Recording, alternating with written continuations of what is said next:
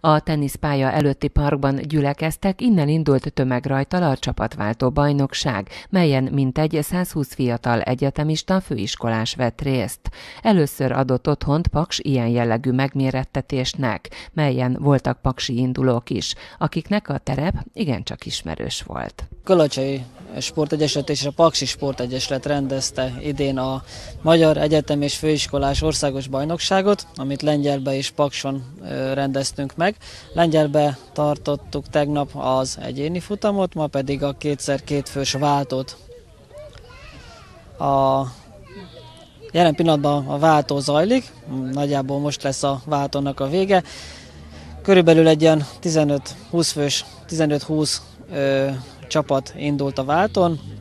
A válton úgy történik, hogy tömegrajta elindulnak, lefutja az első fő, utána a második fő, és utána ezt még egyszer megismétlik, tehát minden versenyző kettőször fog futni.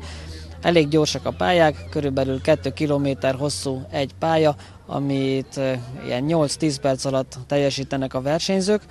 A pályák azok itt a strand környékén találhatóak, van benne egy kis homokos rész, egy ilyen parkerdős rész, garázssor, és elég sok pont van, hogy a versenyzőket ezért elég jól össze tudja zavarni.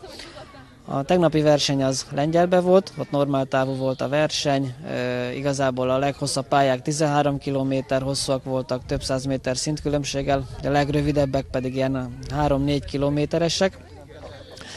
Körülbelül egy 70-80 versenyző indult a tegnapi napon, és a győztesek elnyerik a Magyar Egyetem és Főiskolás Országos Bajnoki címet. Mind a két nap ugyanazok a versenyzők indultak, a, itt talán egy kicsivel kevesebben, hiszen nem tudott minden egyetem főiskola kiállítani egy kétfős csapatot.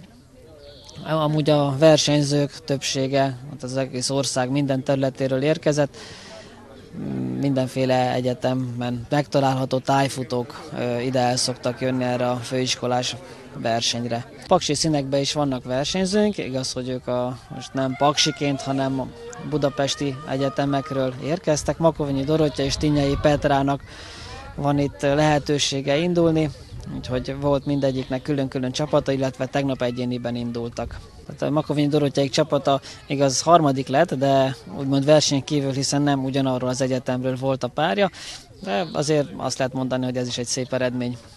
Tinyei Petrának a csapatáról még nem érkezett információ. Tinyei Petra a Pázmány Péter Katolikus Egyetem csapatának tagjaként hatodik lett.